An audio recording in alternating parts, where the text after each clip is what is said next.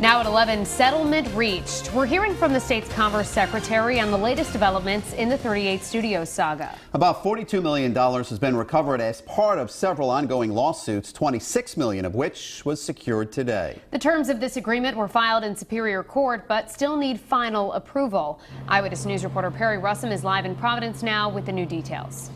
38 Studios cost taxpayers about $90 million. This settlement stems from a lawsuit started by the Chafee administration against the architects of the deal.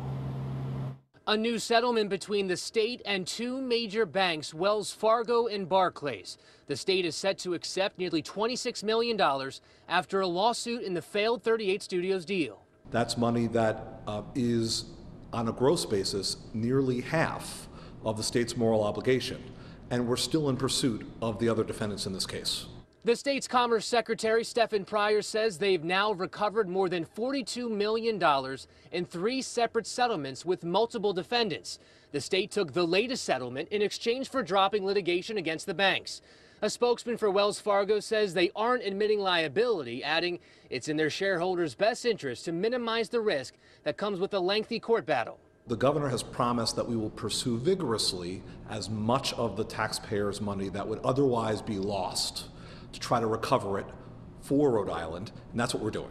There's now the question of whether it was worth going after the banks. Yes, the state got back about $26 million, but at a cost. Legal fees and other expenses total about $4 million. Well, uh, there always are legal fees in the course of litigation. Uh, what we're pleased about is that in investing in this lawsuit, which uh, was initiated under the previous administration, but in vigorously pursuing it, uh, we've been able to yield such a recovery for the taxpayer. Pryor says they won't know how much money can be collected in total until they're done going after all of the defendants, including Curt Schilling.